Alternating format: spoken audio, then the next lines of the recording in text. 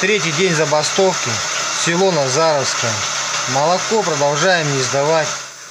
Молоко за копейки не отдают, пока сепарируют, чтобы не пропало. Жители Михайловского, Волчкинского районов закупочная цена в 15 рублей не устраивает, требует повысить. Но в краевом Минсельхозе ничего обнадеживающего им не говорят.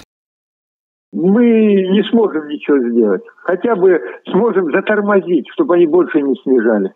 То, что варит продукция, в самом деле на заводах лежит нереализованная зимы. Выйти на Минсельхоз нам не удалось. Зато представители молочных заводов от комментариев не отказываются. Говорят, рынок потребления упал, молока стали пить меньше. Люди экономят. Вот оно и обесценилось. Такая ситуация не только в России, но и во всем мире. Причина все та же – коронавирус. Сейчас просто сырье не востребовано, так как продукция не востребована. Сегодня все склады затарены, даже сегодня хранить уже практически негде. Рано или поздно восстановится рынок.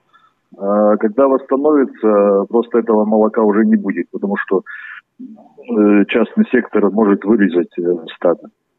Для заводов такое развитие тоже нежелательно, но объясняют, тут они бессильны. Некоторые фермеры из ближайших районов нашли выход, организуют небольшие торговые точки на улице. Причем цена за литр молока ниже, чем в магазине, да и жирность выше. Вот один из ларьков, где продают деревенское молоко. Но, как мы видим, никакой очереди желающих купить натуральное молоко здесь нет.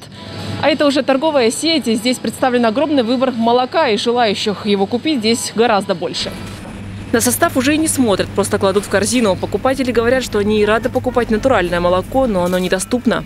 У нас есть в Барнауле сеть э, магазинов, которые именно фермерская. Ну, поблизости, то, что ближе к дому, таких я не видела. Поэтому чаще обращаемся туда, где доступно к жилью и магазины какие ходим, там такое молоко и берем, предпочитаем. Вот два пакета молока. Состав у них одинаковый, жирность тоже отличается в цене почти в два раза. То, что подороже, еще как-то напоминает молоко. Но то, что подешевле, напоминает воду, только белого цвета. Это не молоко. Что, что это? Это, ну я не знаю, может пальмовое масло там или что-то еще. Но оно дороже э, нашего настоящего молока в разы, а ну только кроме вреда, я думаю, ничего оно не принесет. Так что производители молока и городские покупатели, их в крае большинство, смотрят на проблему по-разному. Главное, чтобы разница взглядов не поставила на колени молочный бизнес частников и все сельское хозяйство. Валентина Аскерова, Илья Халяпин. День с толком.